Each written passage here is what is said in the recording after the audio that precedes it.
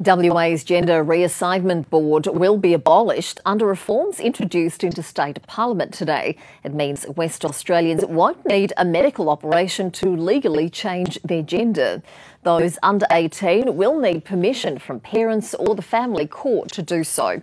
Former AFL player Danielle Laidley was born in WA and says she's avoided changing her gender due to the archaic system. I felt um that it was wrong for someone to sit there and tell me who, who I was. Um, they haven't work, walked a mile in my shoes. Um, they don't know how I feel. We're only bringing Western Australia out of the dark ages up to a level of social reform that the rest of the country already respects and enjoys.